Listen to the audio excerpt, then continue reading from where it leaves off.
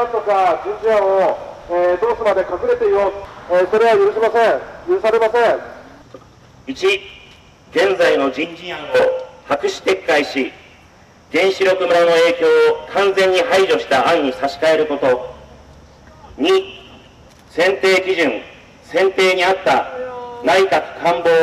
原子力安全規制組織等改革準備室の体制、政府による選定プロセスを明らかにすること。3、国民の意見を聞くためのプロセスを設けること。パブリックコメントを設けること。以上、4万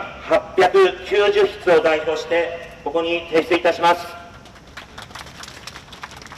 ろしくお願いいたします。どうぞよろしくお願いいたします。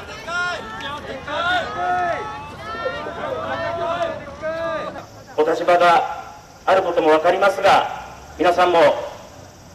家庭に戻れば一人の親であって、また一人の家庭の大事な一員であるということを、すべての人が考えてくれれば、本当に子供たちの未来が守れると思っております。どうぞよろしくお願いいたします。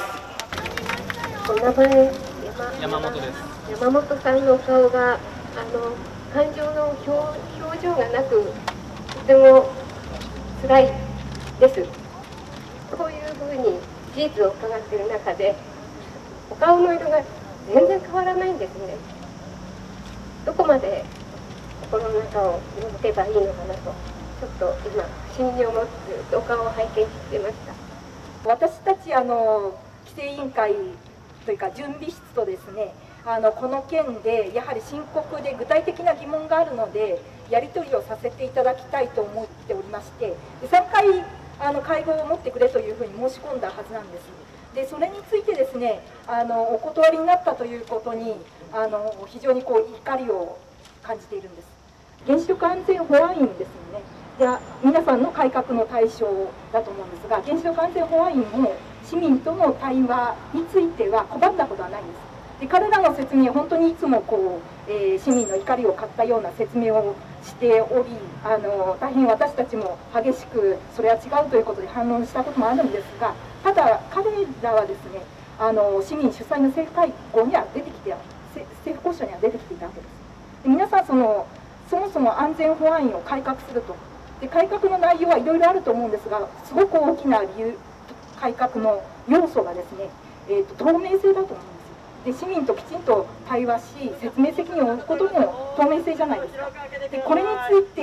えー改革をするその保安院にも劣ると見られるような対応されることは本当にこれはあの国民の信頼を裏切るものですし皆さんの大義あの準備室のスタスタートしたそのな理由にも関わると思うんですよ。準備室がスタートした理由にはやはり説明責任を高めていくということがあったはずなのでこれはしっかり対応していただきたいと思いますとりあえず今はあのこの熱い4万890筆の署名をいただいてあのこれを確実にですねコートの大臣に届けていきたいと思います。まあ、あの国会同意人事ございますので今あのおご承知のおきの方通り、えーまあ、国会の方でご判断いただいている段階でございますので、えーそちらを今見守っているという状況があでございます。